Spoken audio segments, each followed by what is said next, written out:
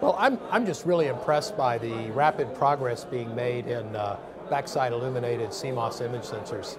I think it's tremendously exciting. Well, we've, we've started to see uh, the, the BSI CMOS going out of the lab and into the high production fab.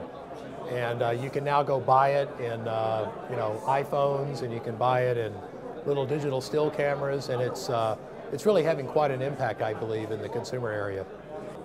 Well, certainly the smartphones have been a huge driver of volume in the imaging business. And um, uh, they initially had a single camera. Now a lot of them have two cameras. Uh, and then additionally, I think we're just now beginning to scratch the surface of what tablets can do. And it's sort of my feeling that because of the nicer display and larger display on the tablets, they, they may further accelerate that trend.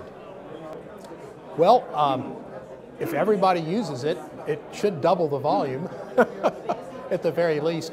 But I think what, it, what it's doing is it's creating another rich opportunity area for people to innovate and create lots of interesting products, some of which we probably haven't even envisioned today. I really look forward to seeing what, what happens with this technology over the next three to five years. You know, backside illumination, as I mentioned earlier, seems to be a significant trend. Uh, we're starting to see some interesting things going on with multi-aperture imaging, uh, computational imaging, uh, 3D, as you had mentioned. So I think there's a lot of very interesting applications out there. We're starting to see uh, near IR being used for automotive and security applications. And uh, so again, there, there just seems to be to be a, a very large field for people to play in. The question is going to be, which ones are going to be the big killer apps and where's the next billion dollars going to be made?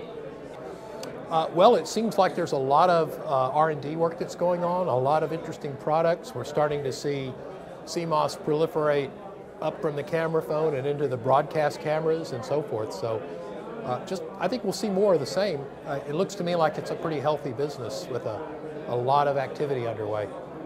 I've enjoyed all of the papers today. Uh, it's been a lot of fun being here, getting a chance to meet people that names I've seen over the years, but I've never had the pleasure to meet. So it's been great. I would highly recommend it to people in the future.